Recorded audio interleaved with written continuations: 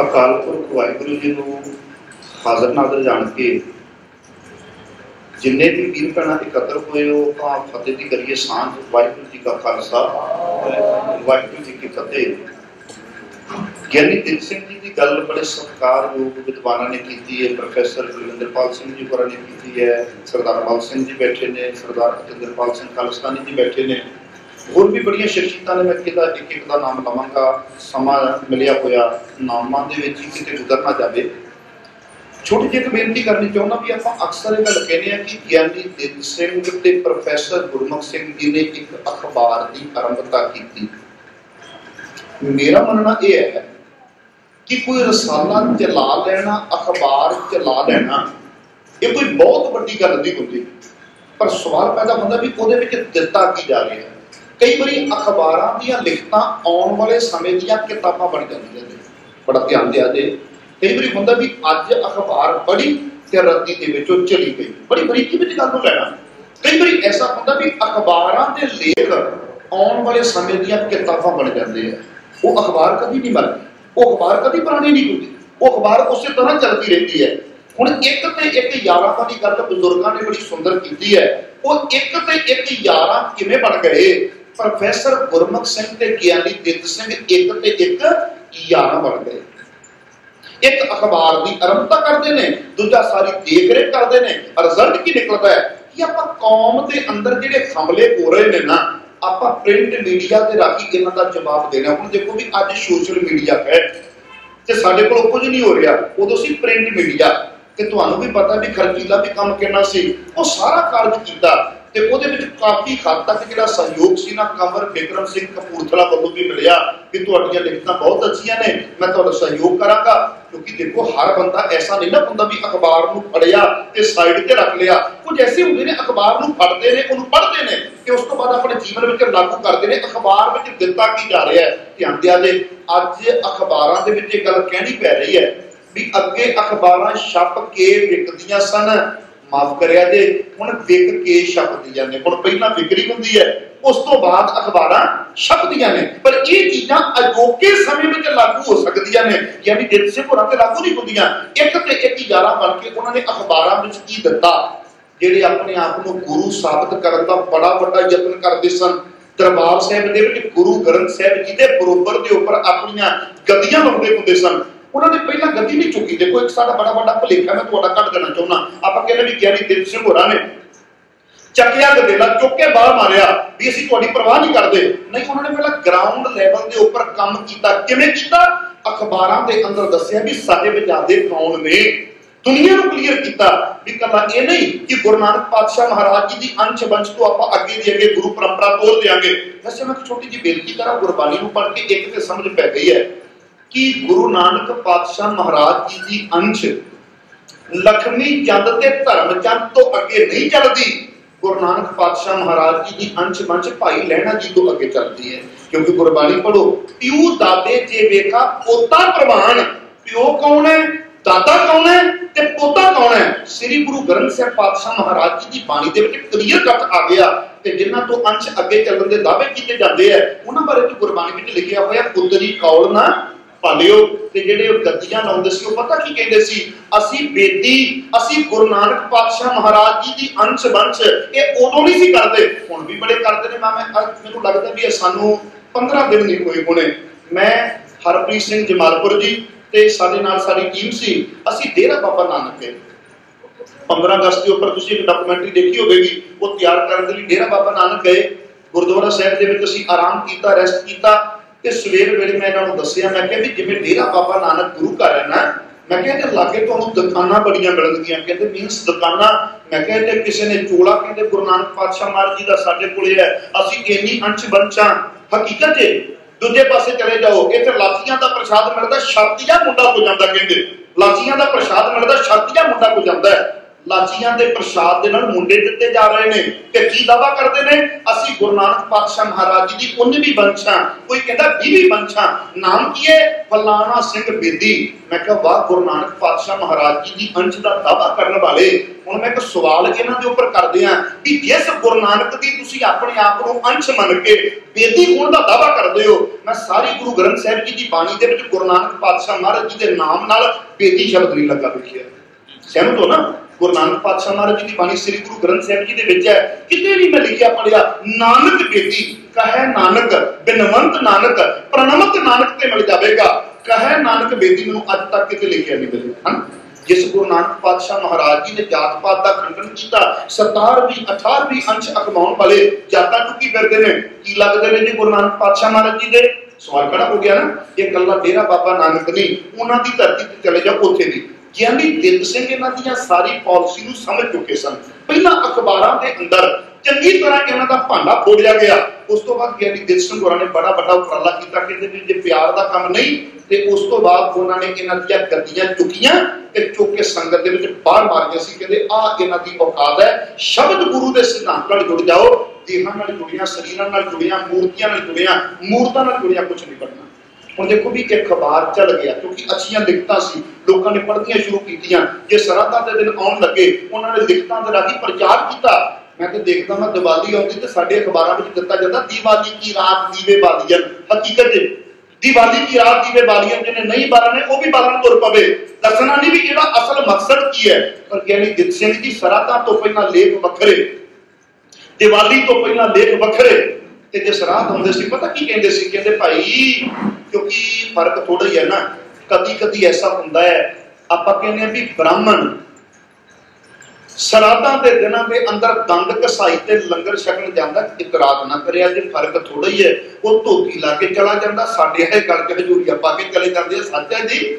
ਅੱਗੋਂ ਕੀ ਕਹਿੰਦੇ ਆ? ਕਹਿੰਦੇ ਯਾਰ ਮਾੜਾ ਕੀ ਹੈ 500 ਰੁਪਇਆ ਦਿੰਦੇ ਨੇ। ਅਸੀਂ ਤੇ ਅਰਦਾਸ ਹੀ ਕਰਨੀ ਹੁੰਦੀ ਹੈ ਨਾ। ਦਿੱਕਤ ਕੀ ਇਸ ਗੱਲ ਦੇ ਅੰਦਰ? ਫ਼ਰਕ ਥੋੜੇ ਜਿਹਾ ਧੋਤੀ ਟਿਕਾ ਲਾ ਕੇ ਚਲਾ ਗਿਆ, ਬੁੱਧੀ ਕਰਕੇ ਚਲਾ ਗਿਆ। ਤੇ ਸਾਡੇ ਵਾਲੇ ਸਾਡੇ ਵਾਲੇ ਇਹ ਚਲੇ ਗਏ? ਫਿਰ ਮੈਨੂੰ ਕਹਿਣਾ ਪੈਂਦਾ, ਮੈਂ ਕਿਹਾ ਕਲੀ ਹੋ ਕੇ ਵਿਕਦੇ ਨੇ, ਪੁਰਾਣੇ ਨੇ ਭਾਂਡੇ। ਕਲੀ ਹੋ ਕੇ ਵਿਕਦੇ ਨੇ, ਪੁਰਾਣੇ ਨੇ ਭਾਂਡੇ। ਬਣੇ ਭਾਈ ਉਹੀ ਜਿਹੜੇ ਬਾਹਮਣ ਤੇ ਪਾਂਡੇ ਜਿਹੜੇ ਬਾਹਮਣ ਤੇ ਪਾਂਡੇ ਸੀ, ਉਹੀ ਅੱਜ ਭਾਈ ਬਣ ਗਏ ਨੇ। ਬਸ ਪੱਗਾਂ ਬਦਲੀਆਂ ਨੇ ਗੁਰ ਕੁਛ ਨਹੀਂ ਬਦਲਿਆ। ਵਿਚਾਰਾਂ ਉਹੀ ਨੇ, ਤਾਂ ਹੀ ਤਾਂ ਬ੍ਰਾਹਮਣਵਾਦ ਗੁਰਦੁਆਰਿਆਂ ਦੇ ਵਿੱਚ ਬਣ ਗਿਆ।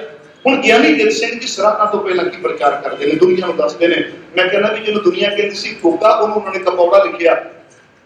ਜਿਹਨੂੰ ਦੁਨੀਆ ਕਹਿੰਦੀ ਸੀ ਸੁਲਤਾਨ, ਉਹਨਾਂ ਨੂੰ ਪਵਾੜਾ ਤੱਕ ਲਿਖਿਆ। ਹੁਣ ਦੇਖੋ ਵੀ ਕਲਮ ਦੀ ਵੀ ਤੇ ਇੱਕ ਬੜੀ ਵੱਡੀ ਮਾਰ ਹੁੰਦੀ ਹੈ ਨਾ। ਹਥਿਆਰ ਤੋਂ ਵੱਧ ਕੇ ਕੰਮ ਕਰਦੀ ਹੈ। ਉਹ ਸਮੇਂ ਦੇ ਵਿੱਚ ਇਹ ਚੀਜ਼ਾਂ ਲਿਖਤਾਂ ਕੌਮ ਦੀ ਝੋਲੀ ਦੇ ਵਿੱਚ ਪਾਈਆਂ ਵੀ ਜਾਗੋ ਜਾਗੋ। ਆਪਣਾ ਸਾਹਿਤ ਪੜੋ ਆਪਣਾ ਇਤਿਹਾਸ ਪੜੋ ਤੇ ਮੈਨੂੰ ਕੱਲ ਵੀ ਸਰਦਾਰ ਅਤਿੰਦਰਪਾਲ ਸਿੰਘ ਜੀ ਨਾਲ ਮੈਂ ਰਾਤ ਸਾਂ ਰਾਤੀ ਕਰੀਬ 12 ਵਜੇ ਮੈਂ ਘਰ ਪਹੁੰਚਿਆ ਮੈਂ ਤੇ ਬਰਸਾਤ ਵਿੱਚ ਸਾਡੀ ਇੰਟਰਵਿਊ ਚੱਲਦੀ ਸੀ। ਤੁਸੀਂ ਹੈਰਾਨ ਹੋ ਜਾਓਗੇ, ਉਧਰੋਂ ਬਰਸਾਤ ਪੈ ਰਹੀ ਹੈ ਤੇ ਬਰਸਾਤ ਵਿੱਚ ਸਾਡੀ ਇੰਟਰਵਿਊ ਚੱਲਦੀ ਪਈ ਸੀ। ਤੇ ਸਤਿਕਾਰਯੋਗ ਮੇਰੇ ਭੈਣ ਜੀ, ਜਦੋਂ ਅਸੀਂ ਜਾਂਦੇ ਆ ਸਾਡਾ ਬੜਾ ਸਤਿਕਾਰ ਕਰਦੇ ਨੇ, ਸੇਵਾ ਕਰਦੇ ਨੇ। ਤੇ ਮੈਨੂੰ ਸਰਦਾਰ ਅਤਿੰਦਰਪਾਲ ਸਿੰਘ ਜੀ ਨੇ ਗੱਲ ਬਕਾਇਦਾ ਕੱਲ ਵੀ ਕਹੀ, ਕਹਿੰਦੇ, ਮੱਕੂ ਜੀ, ਸਭ ਤੋਂ ਵੱਡੀ ਕਮਜ਼ੋਰੀ ਹੈ ਵੀ ਸਾਡੀ ਕੌਮ ਆਪਣਾ ਸਾਹਿਤ ਪੜ੍ਹਨੋਂ ਹਟ ਗਈ ਸਭ ਤੋਂ ਵੱਡੀ ਸਾਡੀ ਕਮਜ਼ੋਰੀ ਇਹ ਹੈ ਵੀ ਅਸੀਂ ਆਪਣੀਆਂ ਲਿਖਤਾਂ, ਆਪਣਾ ਲਿਟਰੇਚਰ ਪੜ੍ਹਨਾ ਛੱਡ ਦਿੱਤਾ। ਲਾਇਬ੍ਰੇਰੀ ਦਾ ਸ਼ਿੰਗਾਰ ਬਣ ਗਿਆ। ਤੇ ਜੇ ਗਿਆਨੀ ਦਿਲ ਸਿੰਘ ਦੇ ਨਾਮ ਤੇ ਦੇਖੋ, ਮੇਰੀ ਗੱਲ ਓਪਰੀ ਨਾ ਕਿਸੇ ਨੂੰ ਲੱਗੇ, ਜੇ ਇੱਕ ਲਾਇਬ੍ਰੇਰੀ ਬਣਾ ਵੀ ਦਿਆਂਗੇ ਤੇ ਦਸਾਂ ਕਿ ਦਿਨਾਂ ਮਗਰੋਂ ਜਾ ਕੇ ਕਿਤਾਬਾਂ ਸਾਫ਼ ਕਰਾਂਗੇ ਤੇ ਫੇਰ ਕੁਝ ਨਹੀਂ ਜੇ ਬਣਨਾ, ਇਹ ਲੋਕਾਂ ਨੂੰ ਕਹੋ ਵੀ ਜਿਹੜੀ ਗਿਆਨੀ ਜਿੱਤ ਸਿੰਘ ਜੀ ਦੇ ਨਾਮ ਤੇ ਲਾਇਬ੍ਰੇਰੀ ਬਣਾਉਣੀ ਹੈ ਨਾ, ਘੱਟੋ ਘੱਟ ਸ਼ਾਮ ਨੂੰ ਆਓ, ਘੱਟੋ ਘੱਟ ਉੱਥੇ ਬਹੋ, ਕਿਸੇ ਵਿਚਾਰ ਨੂੰ ਪੜਿਆ ਜਾਵੇ। ਤੇ ਫਿਰ ਚਾਰਾਂ ਪੰਜਾਂ ਦਿਨਾਂ ਮਗਰੋਂ ਉਸ ਕਿਤਾਬ ਤੇ ਮੰਥਨ ਹੋਵੇ ਵੀ ਤੁਹਾਨੂੰ ਕੀ ਲੱਗਦਾ ਹੈ ਵੀ ਆਹ ਗਿਆਨੀ ਜਿੱਤ ਸਿੰਘ ਦੀ ਜਿਹੜੀ ਲਿਖਤ ਹੈ, ਤੁਹਾਨੂੰ ਕੀ ਸਮਝ ਪਈ ਹੈ? ਸਾਰੇ ਆਪੋ ਆਪਣੇ ਵਿਚਾਰ ਦੇਣ ਤਾਂ ਕਿ ਸਾਡੇ ਗੱਲ ਅੰਦਰ ਤੱਕ ਲੰਘ ਜਾਵੇ। ਤੇ ਗਿਆਨੀ ਜਿੱਤ ਸਿੰਘ ਨੇ ਸਰਾਧਾਂ ਤੋਂ ਪਹਿਲਾਂ ਪਤਾ ਕੀ ਕਿਹਾ? ਕਹਿੰਦੇ ਦੇਖੋ ਸਰਾਧਾਂ ਤੇ ਲੰਗਰ ਖਾਣ ਵਾਲਿਓ, ਕਹਿੰਦੇ ਤੁਸੀਂ ਜਾਂਦੇ ਹੋ, ਅਗਲਾ ਤੁਹਾਡੀ ਖੂਬ ਸੇਵਾ ਕਰਦਾ ਹੈ, ਬੜੀ ਤਰ੍ਹਾਂ ਦੇ ਪਕਵਾਨ ਅੱਗੇ ਧਰਦਾ ਹੈ। ਕਹਿੰਦੇ ਪਹਿਲਾਂ ਇਹ ਪਤਾ ਕਰਵਾਇਆ ਕਰੋ ਵੀ ਜੇ ਕਿਸੇ ਘਰ ਦਾ ਬੁੱਢਾ ਜਾਂ ਬੁੱਢੀ ਮਰ ਗਿਆ ਦੇਖੋ ਵੀ ਕਿਹੜੀ ਜ਼ੋਨ ਦੇ ਵਿੱਚ ਗਿਆ ਜਿਹੜੀ ਜ਼ੋਨ ਦੇ ਵਿੱਚ ਗਿਆ ਉਹੋ ਜੀ ਖੁਰਾਕ ਆਉਣ ਵਾਲੀ ਨੂੰ ਦਿੱਤੀ ਜਾਵੇ ਧਿਆਨ ਦਿਆ ਜੇ ਜੇ ਬਿੱਲੀ ਦੀ ਜ਼ੋਨ ਦੇ ਵਿੱਚ ਹੈ, ਤੇ ਫਿਰ ਤੁਹਾਨੂੰ ਪਤਾ ਫਿਰ ਬਿੱਲੀ ਦੀ ਖੁਰਾਕ ਕਿਹੜੀ ਹੈ। ਜੇ ਬਲਦ ਦੀ ਜ਼ੋਨ ਦੇ ਵਿੱਚ ਹੈ, ਤੇ ਤੁਹਾਨੂੰ ਪਤਾ ਉਹਦੀ ਖੁਰਾਕ ਕਿਹੜੀ ਗਤਾਵਾ ਕਰਕੇ ਅੱਗੇ ਰੱਖੋ, ਮੈਨੂੰ ਦੱਸਿਆ ਜੇ ਕੌਣ ਦੰਦ ਕਸਾਈ ਲੈਣ ਆਊਗਾ ਤੇ ਕੌਣ ਖਾਣ ਆਊਗਾ। ਇਹੋ ਜਿਹੀਆਂ ਲਿਖਤਾਂ ਲਿਖ ਕੇ ਪ੍ਰਚਾਰ ਕੀਤਾ, ਦੁਨੀਆ ਨੂੰ ਜਗਾਇਆ, ਹਲੂਣਾ ਦਿੱਤਾ। ਰਿਜ਼ਲਟ ਕੀ ਨਿਕਲਿਆ? ਰਿਜ਼ਲਟ ਨਿਕਲਿਆ ਕਿ ਜਿਹੜੇ ਅਖੌਤੀ ਆਗੂ ਉਦੋਂ ਵੀ ਸੀ, ਤੇ ਅੱਜ ਵੀ ਨੇ। ਇਹ ਆਪਣਾ ਜ਼ੋਰ ਲਾਉਂਦੇ ਆ। ਪਰ ਬੇਪਰਵਾਹ ਹੋ ਕੇ ਤੁਹਾਨੂੰ ਤਾਂ ਸਾਨੂੰ ਚੱਲਣਾ ਪੈਣਾ ਤੁਸੀਂ ਸਾਰੇ ਸਾਥੀ ਹੋ ਮੇਰੇ, ਇੱਕ ਛੋਟੀ ਜਿਹੀ ਵਿਚਾਰ ਲਿਆ ਜੇ ਫਿਰ ਕੀ ਹੋਇਆ? ਸਮਾਂ ਪਾ ਕੇ ਮੇਰੇ ਖਿਆਲ 1887 ਦੇ ਅੰਦਰ ਪ੍ਰੋਫੈਸਰ ਗੁਰਮੁਖ ਸਿੰਘ ਜੀ ਨੂੰ ਇਹਨਾਂ ਨੇ ਆਪਣੇ ਪੰਥ ਚੋਂ, ਹੁਣ ਕਿਹਨੂੰ ਪੰਥ ਮੰਨਦੇ ਨੇ ਮੈਨੂੰ ਨਹੀਂ ਪਤਾ। ਮੈਨੂੰ ਤੇ ਇੱਕ ਸਮਝ ਪਈ ਹੈ ਵੀ ਜਿਹੜਾ ਵੀ ਗੁਰੂ ਨਾਨਕ ਵਿਚਾਰਧਾਰਾ ਦੇ ਉੱਪਰ ਪਹਿਰਾ ਦਿੰਦਾ ਹੈ, ਸ੍ਰੀ ਗੁਰੂ ਗ੍ਰੰਥ ਸਾਹਿਬ ਜੀ ਨੂੰ ਆਪਣੀ ਜੀਵਨ ਜਾਚ ਮੰਨਦਾ ਹੈ। ਮੇਰਾ ਤੇ ਮੰਨਣਾ ਇਹ ਹੈ, ਉਹ ਹਰ ਕੋਈ ਪੰਥ ਦਾ ਹਿੱਸਾ ਹੈ। ਤੇ ਇਹ ਕਿਸੇ ਨੂੰ ਅਧਿਕਾਰ ਨਹੀਂ ਹੋਣਾ ਚਾਹੀਦਾ ਵੀ ਤੈਨੂੰ ਪੰਥ ਚੋਂ ਛੇਕਿਆ ਇਹ ਅਧਿਕਾਰ ਕਿਸੇ ਨੇ ਸਾਨੂੰ ਦੇ ਦਿੱਤਾ ਵੀ ਜਦੋਂ ਮਰਜ਼ੀ ਕਿਸੇ ਨੂੰ ਪੰਥ ਦੇ ਵਿੱਚੋਂ ਛੇਕ ਦਿਓ, ਜਦੋਂ ਮਰਜ਼ੀ ਕਿਸੇ ਨੂੰ ਕੌਮ ਦਾ ਬੜਾ ਵੱਡਾ ਖਿਤਾਬ ਦੇ ਦਿਓ, ਜਦੋਂ ਮਰਜ਼ੀ ਕਿਸੇ ਨੂੰ ਨਾਲ ਰਲਾ ਲਓ, ਇਹ ਤੁਹਾਨੂੰ ਖਿਤਾਬ ਕਿਸ ਦਿੱਤਾ ਕਿਸ ਨੇ, ਅਧਿਕਾਰ ਕਿਸ ਨੇ ਦਿੱਤਾ। ਬੜੀ ਵੱਡੀ ਗੱਲ ਹੈ। ਪ੍ਰੋਫੈਸਰ ਗੁਰਮਨ ਸਿੰਘ ਜੀ ਨੂੰ ਛੇਕਿਆ ਗਿਆ ਕਿ ਅਲੀ ਦਿਪ ਸਿੰਘ ਨੇ ਧੂਆਂਧਾਰ ਪ੍ਰਚਾਰ ਕੀਤਾ। ਰਿਜ਼ਲਟ ਕੀ ਨਿਕਲਿਆ? ਸਮਾਂ ਪਾ ਕੇ ਖਿਆਲ ਕਰਿਆ ਕਿ ਬਾਬਾ ਖੇਮ ਸਿੰਘ ਵਰਗਿਆਂ ਨੇ ਨਾ ਇੱਕ ਲਿਖਤ ਨੂੰ ਆਧਾਰ ਬਣਾ ਕੇ ਕਿਹਾ ਵੀ ਦਿਪ ਸਿੰਘ ਨੂੰ ਵੀ ਕੋਰਟ ਦੇ ਵਿੱਚ ਘੜੀਸਿਆ ਗਿਆ।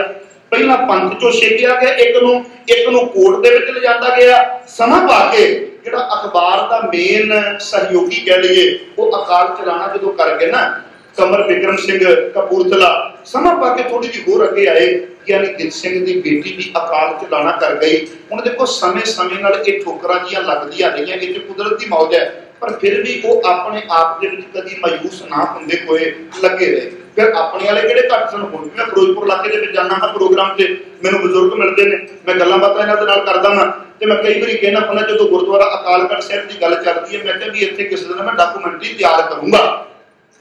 ਕਹਿੰਦੇ ਕੀ ਕਰੇਗਾ? ਮੈਂ ਕਿਹਾ ਵੈਸੇ ਮੈਨੂੰ ਤਾਂ ਬਹੁਤਿਆਂ ਨੇ ਕਹਿਣਾ ਵੀ ਇਹ ਤਾਂ ਸਿਆਪਾ ਪਾਉਣ ਨੂੰ ਹੁੰਦਾ ਹੁੰਦਾ ਦੇਖੋ, ਚੰਗਾ ਭਲਾ ਪ੍ਰਚਾਰ ਹੋ ਰਿਹਾ ਨੇ ਕੋਈ ਨਵੀਂ ਗੱਲ ਕੱਢ ਬਾਦੀ ਪਰ ਨਵੀਂ ਦੀ ਗੱਲ ਬੜੀ ਪੁਰਾਣੀ ਹੈ। ਉੱਥੇ ਦੱਸੂਗਾ ਵੀ ਇਹ ਭਾਈ, ਇਹ ਉਹ ਅਸਥਾਨ ਹੈ, ਜਿੱਥੋਂ ਗਿਆਨੀ ਦਿੱਤ ਸਿੰਘ ਨੂੰ ਦੱਬ ਕੇ ਜਲੀਲ ਕੀਤਾ ਜਾਂਦਾ ਸੀ ਤੇ ਜਦੋਂ ਕੌਮ ਸੱਦ ਅਹਿਸਾਸ ਕਰਵਾਇਆ ਜਾਂਦਾ ਨਾ ਉਸ ਨੂੰ ਇੱਕ ਅਹਿਸਾਸ ਕਰਵਾਇਆ ਜਾਣਾ ਕਿ ਨਾ, ਤੂੰ ਸਾਡੇ ਤੋਂ ਨੀਵਾਂ ਉਹ ਕਈ ਵਾਰੀ ਇਹ ਗੱਲ ਕਹਿੰਦੇ ਹੁੰਦੇ ਸੀ, ਕਹਿੰਦੇ ਵੀ ਦੇਖੋ, ਜਦੋਂ ਤੇ ਮੈਂ ਕਰਦਾ ਹਾਂ ਪ੍ਰਚਾਰ, ਇਹ ਸਾਰੇ ਚੌਂਕੜਾ ਮਾਰ ਕੇ ਬਹਿ ਕੇ ਸੁਣਨ ਨੂੰ ਤਿਆਰ ਨੇ। ਪਰ ਕਹਿੰਦੇ, ਜੇ ਕਿ ਮੈਂ ਕੜਾ ਪ੍ਰਸ਼ਾਦੀ ਦੇ ਵਰਤਾਉਣ ਲੱਗ ਪਿਆ ਸਾਰਿਆਂ ਨੇ ਉੱਠ ਕੇ ਭੱਜ ਜਾਣਾ। ਉਹ ਕਹਿੰਦੇ ਹੁੰਦੇ ਸੀ, ਕਹਿੰਦੇ ਸਾਰਿਆਂ ਨੇ ਉੱਠ ਕੇ ਭੱਜ ਜਾਣਾ। ਮੇਰੇ ਜ਼ਬਾਨ ਤੋਂ ਨਿਕਲੇ ਹੋਏ ਬੋਲ ਤੇ ਸੁਣ ਸਕਦੇ ਨੇ, ਪਰ ਇੰਨੀ ਘৃਣਾ ਆਪਣੇ ਅੰਦਰ ਰੱਖ ਕੇ ਬੈਠੇ ਨੇ ਵੀ ਜੇ ਦੇਖ ਵਰਤਾਉਣ ਲੱਗ ਪਿਆ ਨਾ, ਇਹਨਾਂ ਨੇ ਉੱਠ ਕੇ ਚਲੇ ਜਾਣਾ। ਦੇਖ ਤੇ ਹੱਕਾਂ ਦੀ ਕੀ ਸ਼ਕਲ ਸੀ? ਦੇਖ ਸੰਗਤ ਵਿੱਚ ਨਹੀਂ ਸੀ ਦਿੰਦੇ ਹੁੰਦੇ, ਜਲੀਲ ਕਰਦੇ ਹੁੰਦੇ ਸਨ, ਪਰ ਉਹ ਕਹਿੰਦੇ ਨਹੀਂ ਕਸੂਰ ਇਹਨਾਂ ਦਾ ਨਹੀਂ।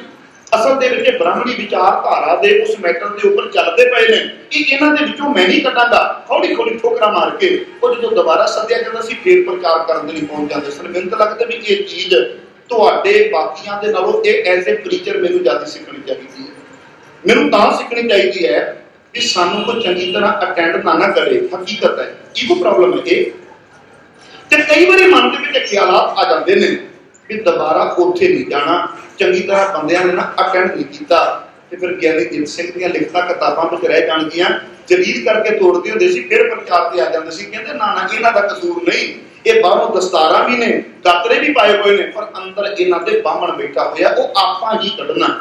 ਤੇ ਆਪਾਂ ਨੂੰ ਵੀ ਇੰਜ ਲੱਗਦਾ, ਅੱਜ ਦੇ ਸਮਾਜ ਵਿੱਚ ਝਾਤੀ ਮਾਰਿਆ ਵੀ ਅੰਦਰ ਬੈਠਾ ਹੋਇਆ ਬ੍ਰਾਹਮਣ ਕਾਫੀ ਹੱਦ ਤੱਕ ਨਿਕਲ ਚੁੱਕਾ ਪਰ ਅਜੇ ਵੀ ਬ੍ਰਾਹਮਣੀ ਵਿਚਾਰਧਾਰਾ ਸਾਡੇ ਗੁਰਦੁਆਰਿਆਂ ਵਿੱਚ ਚੱਲਦੀਆਂ। ਇਸ ਗੱਲ ਦਾ ਸਬੂਤ ਹੈ ਵੀ ਸਾਨੂੰ ਕੱਲੇ-ਕੱਲੇ ਨੂੰ ਗਿਆਨੀ ਦੀਪ ਸਿੰਘ ਬਣਨਾ ਪੈਣਾ ਤੇ ਕੱਲੇ-ਕੱਲੇ ਨੂੰ ਗਿਆਨੀ ਦੀਪ ਸਿੰਘ ਬਣ ਕੇ ਸਾਨੂੰ ਉੱਭਰਨਾ ਪੈਣਾ, ਪ੍ਰਚਾਰ ਕਰਨਾ ਪੈਣਾ ਤਾਂ ਕਿ ਸਾਡੇ ਸਮਾਜ ਦੇ ਵਿੱਚੋਂ ਉਹ ਕੁਰੀਤੀਆਂ ਨਿਕਲ ਜਾਣ ਜਿਨ੍ਹਾਂ ਨੂੰ ਸਾਡੇ ਵੱਡ ਵਡੇਰਿਆਂ ਨੇ। ਦੇਖੋ ਮੈਂ ਜਾਣਦਾ ਹਾਂ ਨਾ ਜਦੋਂ ਇਧਰ ਦਰਿਆਓ ਪਾਰ ਜਿਹਨੂੰ ਦੁਆਬ ਦਾ ਏਰੀਆ ਕਿਹਾ ਜਾਂਦਾ, ਬੜੇ ਵਡੇਰੇ, ਜਠੇਰੇ ਆ ਕੀ ਹੈ ਜਠੇਰੇ ਆ ਕੀ ਹੈ ਵਡੇਰੇ? ਤੇ ਇਹਨਾਂ ਦਾ ਇਤਿਹਾਸ ਕੀ ਹੈ? ਕਹਿੰਦੇ ਇਹ ਨਹੀਂ ਪਤਾ, ਪਰ ਸਾਲ ਦੇ ਸਾਲ ਮੇਲਾ ਲੱਗਦਾ ਤੇ ਸਾਡੇ ਢਾਡੀ ਵੀ ਆਉਂਦੇ ਨੇ। ਮੈਂ ਕਿਹਾ ਫੇਰ ਕਹਿੰਦੇ ਸੁਣਾ ਜਾਂਦੇ ਹੁੰਦੇ ਦੇਖੋ ਮੈਨੂੰ ਨਹੀਂ ਪਤਾ ਵੀ ਉਹ ਕਿਹੜੀ ਵਾਰ ਜੋੜ ਦਿੰਦੇ ਨੇ ਪਰ ਮੇਰਾ ਮੰਨਣਾ ਇਹ ਹੈ ਸਾਡੇ ਵੱਡ ਵਡੇਰੇ ਉਹ ਨੇ ਜਿਨ੍ਹਾਂ ਨੇ ਉਸ ਸਮੇਂ ਦੇ ਵਿੱਚ ਪ੍ਰਚਾਰ ਕੀਤਾ ਜਦੋਂ ਸਿੱਖ ਧੜਾ ਧੜ ਈਸਾਈ ਬਣਦੇ ਪਏ ਸਨ ਜਿਵੇਂ ਪ੍ਰੋਫੈਸਰ ਬਲਵਿੰਦਰਪਾਲ ਸਿੰਘ ਜੀ ਨੇ ਜ਼ਿਕਰ ਕੀਤਾ ਹੈ ਤੇ ਬਜ਼ੁਰਗ ਬਜ਼ੁਰਗ ਬਿਲਕੁਲ ਸਾਹਮਣੇ ਬੈਠੇ ਨੇ ਮੈਂ ਇਹਨਾਂ ਦੀ ਇੱਕ ਲਿਖਤ ਬੜੇ ਪਿਆਰ ਦੇ ਵਿੱਚ ਪੜ੍ਹੀ ਹੈ। ਮੇਰੇ ਖਿਆਲ ਦੇ ਵਿੱਚ ਸਰਦਾਰ ਨਸੀਬ ਸਿੰਘ ਜੀ ਇਹਨਾਂ ਨੇ ਵੀ ਆਪਣੀਆਂ ਲਿਖਤਾਂ ਦੇ ਰਾਹੀਂ ਬਹੁਤ ਸੋਹਣਾ ਪ੍ਰਚਾਰ ਕੀਤਾ। ਮੈਂ ਦਿਲ ਦੀਆਂ ਗਹਿਰਾਈਆਂ ਤੋਂ ਸਾਰਿਆਂ ਦਾ ਧੰਨਵਾਦੀ ਹਾਂ। ਤੇ ਮੈਂ ਉਹਨਾਂ ਨੂੰ ਕਹਿਣਾ ਹੁੰਦਾ ਮੈਂ ਕਿਹਾ ਜਿਹਨਾਂ ਨੂੰ ਤੁਸੀਂ ਵੱਡ ਵਡੇਰੇ ਕਹਿੰਦੇ ਹੋ, ਸਾਡੇ ਜਠੇਰੇ, ਉਹ ਤੁਹਾਡੇ ਜਠੇਰੇ ਵਡੇਰੇ ਨਹੀਂ। ਤੁਹਾਡੇ ਵੱਡ ਵਡੇਰੇ ਤੇ ਉਹ ਨੇ, ਜਿਨ੍ਹਾਂ ਨੇ ਉਸ ਸਮੇਂ ਦੇ ਵਿੱਚ ਪ੍ਰਚਾਰ ਕੀਤਾ, ਜਦੋਂ ਸਿੱਖ ਧੜਾ ਧੜ ਈਸਾਈ ਬਣਦੇ ਸੀ। ਦੱਸਿਆ ਵੀ ਗੁਰੂ ਨਾਨਕ ਦੇ ਸਿਧਾਂਤ ਤੋਂ ਉੱਚਾ ਤੇ ਸੁੱਚਾ ਸਿਧਾਂਤ ਕੋਈ ਨਹੀਂ। ਤੇ ਸਾਡੇ ਦਾਅਵੇ ਪਤਾ ਕੀ ਕਰਦੇ ਸੀ? ਨਾ ਜੀ, ਦੇਖੋ। ਇਹ ਕਿੰਨੀ ਵਧੀਆ ਗੱਲ ਕਰਦੇ ਪਏ ਆ ਜੀ। ਇਹ ਐਜੂਕੇਸ਼ਨ ਦੀ ਗੱਲ ਕਰਦੇ ਪਏ ਆ। ਇਹ ਰਲ ਮਿਲ ਕੇ ਖਾਣ ਦੀ ਗੱਲ ਕਰਦੇ ਪਏ ਆ। ਉਹ ਕਹਿੰਦੇ ਫਿਰ ਵੱਖਰੀ ਗੱਲ ਇਹ ਹੈ ਵੀ ਕਿਸੇ ਦਾ ਸਰਾਣਾ ਖੋਲਣ ਲੱਗ ਪਏ, ਆਪਣਾ ਸਰਾਣਾ ਖੋਲਿਆ ਨਹੀਂ, ਆਪਣਾ ਸਰਾਣਾ ਖੋਲੋ, ਤੁਹਾਨੂੰ ਪਤਾ ਲੱਗੇਗਾ ਵੀ ਇਹ ਤੁਹਾਡੇ ਆਪਣੇ ਸਿਧਾਂਤ ਨੇ ਜਿਹੜੇ ਬਾਅਦ ਵਿੱਚ ਲੋਕਾਂ ਨੇ ਕਾਪੀ ਕੀਤੇ ਆ। ਦੁਨੀਆ ਨੂੰ ਐਸੇ ਢੰਗ ਵਿੱਚ ਦੱਸ ਕੇ ਦੁਬਾਰਾ ਸਿੰਘ ਸਜਾਇਆ, ਅਖਬਾਰ ਬਣਾਈਆਂ, ਅਖਬਾਰਾਂ ਨਾਲ ਧੂਆਂਧਾਰ ਪ੍ਰਚਾਰ ਕੀਤਾ, ਪਰ ਅਖੌਤੀ ਆਗੂ ਨੂੰ ਬਰਦਾਸ਼ਤ ਨਹੀਂ ਹੁੰਦਾ, ਉਹ ਆਪਣਾ ਕੰਮ ਕਰਦੇ ਨੇ, ਉਹ ਅੱਜ ਵੀ ਕੰਮ ਕਰਦੇ ਨੇ। ਤੁਸੀਂ ਦੇਖਿਆ ਹੋਵੇਗਾ, ਪਰਸੋਂ ਮੇਰੀ ਤੇ ਸਰਦਾਰ ਅਤਿੰਦਰਪਾਲ ਸਿੰਘ ਜੀ ਦੀ ਇੱਕ ਵੀਡੀਓ ਪਈ ਸੀ। ਬੜੀ ਉਹ ਚੱਲੀ ਹੈ। ਰਾਤੋਂ ਰਾਤ ਲੱਖ ਬੰਦਾ ਦੇਖ ਗਿਆ 1 ਘੰਟਾ 10 ਮਿੰਟ ਦੀ ਸੀ। ਅੱਜ ਮੈਂ ਸਵੇਰੇ ਦੇਖਿਆ, ਮੈਂ ਕਿਹਾ ਕਿ ਡਾਊਨਲੋਡ ਕਿਉਂ ਨਹੀਂ ਹੋ ਰਹੀ? ਤੇ ਜਦੋਂ ਮੈਂ ਆਪਣੇ ਟੈਕਨੀਕਲ ਬੰਦੇ ਨਾਲ ਗੱਲ ਕੀਤੀ, ਉਹ ਕਹਿੰਦੇ ਜੀ, ਇਤਨੀਆਂ ਕੋ ਰਿਪੋਰਟ ਰਾਤ ਰਾਤ ਵਿੱਚ ਹੋ ਚੁੱਕੀਆਂ ਨੇ ਵੀ ਇਹ ਵੀਡੀਓ ਜਲਦੀ ਤੋਂ ਜਲਦੀ YouTube ਤੋਂ ਰਿਮੂਵ ਕੀਤੀ ਜਾਵੇ, ਕਿਉਂਕਿ ਇਹ ਵੀਡੀਓ ਮਾਹੌਲ ਖਰਾਬ ਕਰਦੀ ਪਈ ਹੈ ਤੇ ਮੈਂ ਕਿਹਾ ਵੀ ਇਹ ਵੀਡੀਓ ਨਹੀਂ YouTube ਤੋਂ ਰਿਮੂਵ ਹੋਣੀ ਚਾਹੀਦੀ। ਭਾਵੇਂ ਕੋਰਟ 'ਚ ਜਾਣਾ ਪੈ ਜਾਵੇ। ਵੀ ਆਹ ਹਾਲਾਤ ਹੈ ਵੀ ਚੋਟਾਂ ਉਦੋਂ ਵੀ ਪੈਂਦੀਆਂ ਸੀ, ਹੁਣ ਵੀ ਪੈਂਦੀਆਂ। ਫ਼ਰਕ ਥੋੜਾ ਜਿਹਾ ਚੇਂਜ ਹੋਇਆ। ਤਰੀਕਾ ਉਹਨਾਂ ਨੇ ਆਪਣਾ ਚੇਂਜ ਕਰ ਲਿਆ ਤੇ ਸਾਡੇ ਸਦਾ ਟੋਟਾ ਖਾਂਦੇ ਆਏ ਨੇ। ਨਹੀਂ ਭਾਈ, ਹੁਣ ਜਾਗ ਜਾਈਏ। ਗੁਰਬਾਣੀ ਦਾ ਰੋਸ਼ਨੀ ਲੈ ਕੇ ਸਤਿਗੁਰ ਸ਼ਬਦ ਉਜਾਰੋ, ਦੀਪਾ ਅਗਿਆਨਤਾ ਦੇ ਹਨੇਰੇ ਨੂੰ ਕੱਢੀਏ। ਇਹਨਾਂ ਕੁਝ ਕਹਿੰਦਾ ਹੋਇਆ ਜਿੱਥੇ ਸਾਰਿਆਂ ਤੁਹਾਡਾ ਧੰਨਵਾਦੀ ਆ ਉਹਤੇ ਹੱਥ ਜੋੜ ਕੇ ਤੁਹਾਡੇ ਕੋਲ ਕਿਮਾ ਦਾ ਜੱਜ ਕਿਤਾਬ ਬਣਾਵਾਂ। ਕਿਉਂਕਿ ਰਾਈਟ ਅਸੀਂ 2 ਵਜੇ ਤੋਂ ਨਿਕਲਣਾ ਹੈ। ਕਰੀਬ 3 ਵਜੇ ਅਸੀਂ ਦੋ ਤਿੰਨ ਡਾਕੂਮੈਂਟਰੀ ਤਿਆਰ ਕਰਨੀਆਂ ਨੇ ਮਲੇਰਕੋਟਲਾ ਦੀ ਧਰਤੀ ਤੇ। ਤੇ ਇਤੋਂ ਹੀ ਫਰੀ ਹੋ ਕੇ ਸਰਦਾਰ ਅਤਿੰਦਰਪਾਲ ਸਿੰਘ ਖਾਲਸਤਾਨੀ ਜੀ ਵੀ ਮੇਰੇ ਕੋਲ ਆਇਆ ਮਲੇਰਕੋਟਲਾ ਹੀ ਜਾਣਾ ਤੇ ਇਹਨਾਂ ਦਾ ਸਾਥ ਫਿਰ ਥੋੜਾ ਜਿਹਾ ਲੈ ਲਵਾਂਗੇ ਕਿਉਂਕਿ ਮੇਰਾ ਮਨ ਹੁੰਦਾ ਵੀ ਜੇ ਕੋਈ ਵਿਦਵਾਨ ਸੱਜਣ ਹੈ ਨਾ, ਜਿੱਥੇ ਵੀ ਮਿਲ ਪਵੇ ਟੀਮ ਸਾਡੇ ਨਾਲ ਹੁੰਦੀ ਹੈ, ਲਾਹਾ ਲਈਏ। ਤੇ ਮੈਂ ਕੋਸ਼ਿਸ਼ ਕਰਦਾ ਹਾਂ ਅੱਜ ਵੀ ਮੈਨੂੰ ਕਾਫੀ ਸ਼ਖਸੀਅਤਾਂ ਮਿਲੀਆਂ ਨੇ। ਇਹਨਾਂ ਸਾਰਿਆਂ ਦੇ ਨੰਬਰ ਮੈਂ ਹਰਪ੍ਰੀਤ ਸਿੰਘ ਜਮਾਲਪੁਰ ਵੀਰ ਜੀ ਕੋਲੋਂ ਲਵਾਂਗਾ ਕਿਉਂਕਿ ਮੇਰੇ ਬਹੁਤ ਵੱਡੇ ਸਹਿਯੋਗੀ ਨੇ ਉਹ। ਤੇ ਉਹਨਾਂ ਕੋਲੋਂ ਨੰਬਰ ਲੈ ਕੇ ਤੁਹਾਨੂੰ ਆਉਣ ਦੀ ਖੇਚਲ ਦੀ ਕਰਨੀ ਪੈਣੀ, ਕਿਉਂਕਿ ਮੈਂ ਇਹ ਨਹੀਂ ਕਹਿੰਦਾ ਕਿ ਮੈਂ ਜਵਾਨ ਆ ਪਰ ਮੈਂ ਆਪਣੇ ਆਪ ਨੂੰ ਬੁੱਢਾ ਵੀ ਨਹੀਂ ਮੰਨਦਾ। ਸੱਚਾਈ ਹੈ ਨਾ? ਮੈਨੂੰ ਇੰਜ ਲੱਗਦਾ ਕਿ ਮੈਂ ਭੱਜ ਨੱਠ ਕਰ ਸਕਦਾ ਹਾਂ ਮੈਂ ਤੁਹਾਡੇ ਘਰ ਘਰ ਤੱਕ ਪਹੁੰਚ ਕੇ ਤੁਹਾਡੇ ਨਾਲ ਘੰਟਾ ਘੰਟਾ ਦੋ ਦੋ ਘੰਟੇ ਦੀ ਇੰਟਰਵਿਊ ਕਰਾਂਗਾ। ਬਜ਼ੁਰਗਾਂ ਦੀ ਸਰਦਾਰ ਨਸੀਬ ਸਿੰਘ ਜੀ ਹੋਰਾਂ ਦੇ ਨਾਲ ਮੇਲੇ ਗੇਲੇ ਕਰਨ ਦੀ ਬੜੀ ਦਿਲੀ ਇੱਛਾ ਸੀ। ਨੰਬਰ ਨਹੀਂ ਸੀ ਮਿਲ ਪਾ ਰਿਹਾ। ਅੱਜ ਮੈਨੂੰ ਨੰਬਰ ਮਿਲ ਜਾਏਗਾ ਤੇ ਉਸ ਤੋਂ ਬਾਅਦ ਮੈਂ ਘਰੋਂ ਘਰੀ ਪਹੁੰਚਾਂਗਾ ਤਾਂ ਕਿ ਆਪਾਂ ਗਿਆਨੀ ਜਿਤ ਸਿੰਘ ਜੀ ਦੀ ਦਿੱਤੀ ਹੋਈ ਵਿਚਾਰ ਹੈ ਤੇ ਵਿਚਾਰ ਗੁਰੂ ਗ੍ਰੰਥ ਸਾਹਿਬ ਜੀ ਦੇ ਨੇ, ਪਰ ਪੇਸ਼ਕਾਰੀ, ਅੰਦਾਜ਼ੇ, ਬਿਆਨ ਪ੍ਰੈਜੈਂਟੇਸ਼ਨ ਹਰ ਬੰਦੇ ਦੀ ਆਪੋ ਆਪਣੀ ਹੁੰਦੀ ਹੈ ਉਹਨਾਂ ਦੀ ਕਿਹੜੀ ਪੇਸ਼ਕਾਰੀ ਸੀ, ਕਿਹੜਾ ਢੰਗ ਸੀ ਤਾਂ ਕਿ ਉਹਨੂੰ ਅਸੀਂ ਅੱਜ ਅਪਣਾਈਏ। ਅੱਜ ਦਾ ਸਾਡਾ ਪ੍ਰਚਾਰਕ ਵਰਗ ਅਪਣਾਵੇ ਤੇ ਅਸੀਂ ਅੱਗੇ ਲੈ ਕੇ ਕਿਵੇਂ ਚੱਲ ਸਕਦੇ ਹਾਂ। ਸਾਰਿਆਂ ਦਾ ਧੰਨਵਾਦ ਜੀ।